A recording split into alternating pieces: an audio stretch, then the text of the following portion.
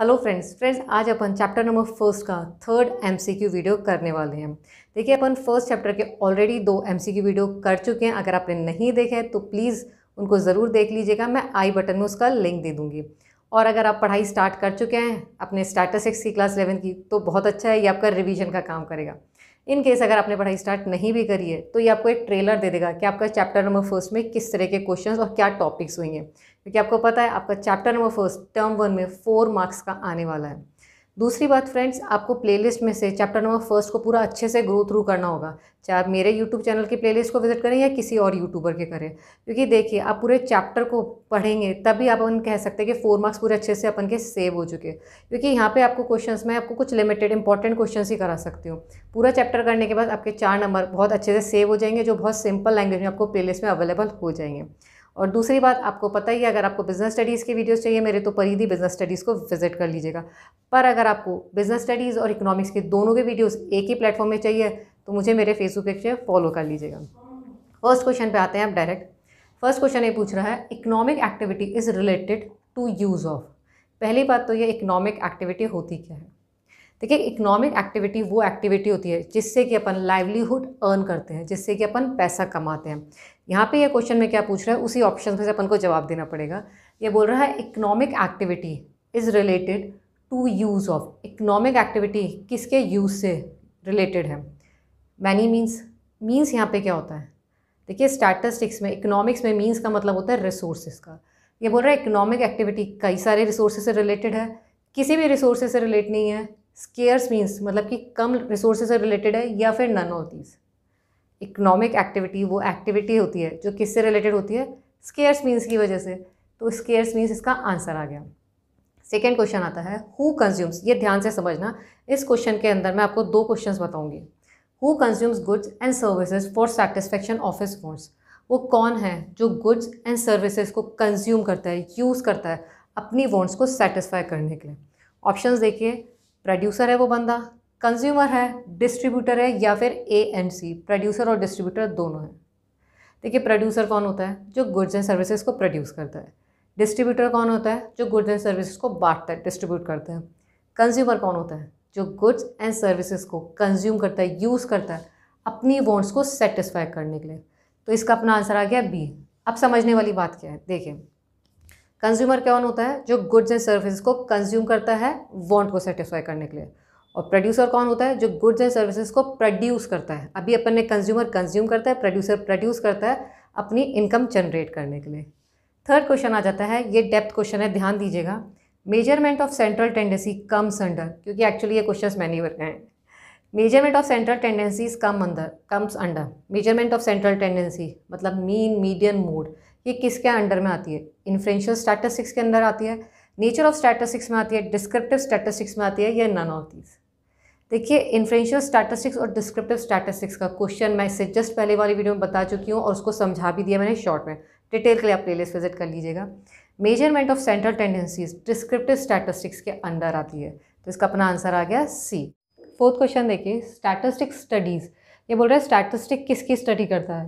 Quantitative facts की मतलब कि नुमेरिकल फैक्ट्स की क्वालिटेटिव फैक्ट्स की क्वालिटी क्या होती है? से बोलते हैं ना कि ये बंदा मुझसे ज़्यादा इंटेलिजेंट है, या ऐसे कहते हैं कि ये बंदा मुझसे ज़्यादा ऑनेस्ट है। तो एक तरीके से बेसिकली जो क्वालिटी डिपिक करता है that is called qualitative facts both A and B quantitative facts and qualitative facts दोनों या फिर नन ऑफ़ दीज देखिए स्टैटिस्टिक्स एक ही बात की स्टडी करता है, वो है क्वांटिटेटिव फैक्ट्स न्यूमेरिकल डेटा की स्टैटिस्टिक्स स्टडी करता है।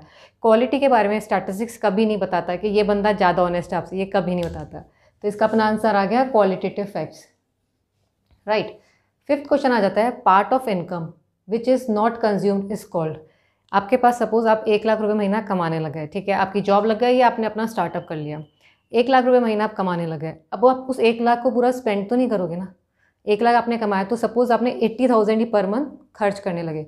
बीस हज़ार रुपये जो आपके बचे, उसको आप क्या कहोगे?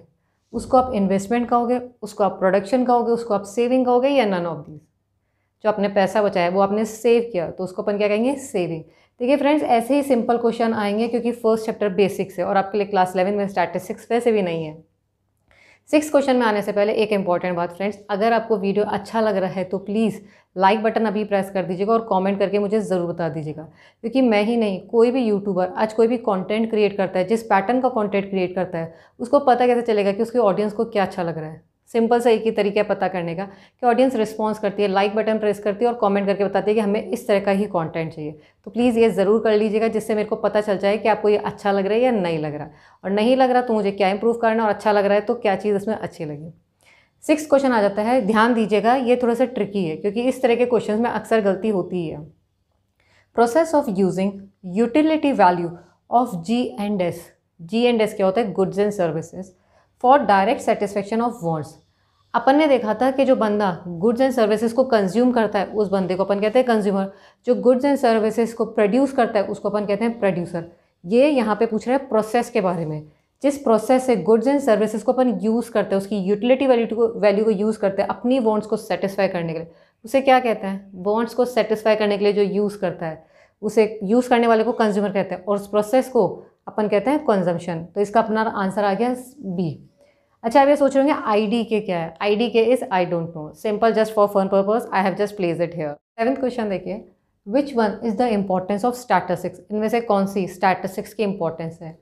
प्रॉन टू मिस यूज़ देखिए मिस यूज़ है, कोई चीज़ को अपन मिस यूज़ कर सकते हैं, वो तो उसकी वीकनेस होगी तो ये इंपॉर्टेंस तो है नहीं. Can use by experts status को सिक्स एक्सपर्ट से यूज़ कर सकते हैं. ये भी एक लिमिटेशन हो गई. थर्ड आ जाता है पॉलिसी फॉर्मेशन और फोर्थ आ जाता है होमोजेनिटी ऑफ़ डेटा देखिए स्टैटिस्टिक्स को कोई भी डेटा को कंक्लूड करने के लिए कंपेयर करने के लिए होमोजेनिटी होना बहुत ज़रूरी है। तो ये भी इसकी एक वीकनेस हो गई।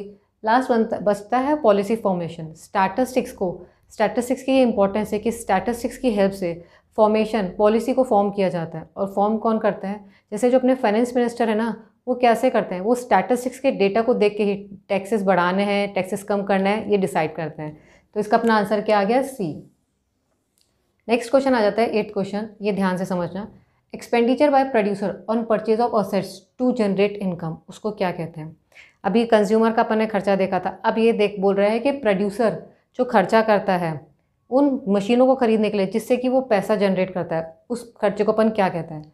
प्रोडक्शन डिस्ट्रीब्यूशन सेविंग या इन्वेस्टमेंट आज आपने कोई भी चीज़ खरीदी सिंपल सी बात है, कोई भी प्लांट खरीदा, कोई भी मशीन खरीदी या कोई भी पैसा खर्च किया पर वो पैसा खर्च इसलिए किया जिससे आप उस पैसे को यूज़ करके, उस चीज़ को खरीद के और ज़्यादा पैसा कमा सके। तो उसको अपन इन्वेस्टमेंट कहेंगे। आज जो अपन अपनी जो ज़मीन वगैरह में भी पैसा लगाते हैं, पैसा लगाते हैं ना तो उसको अपन इन्वेस्टमेंट ही तो कहते हैं।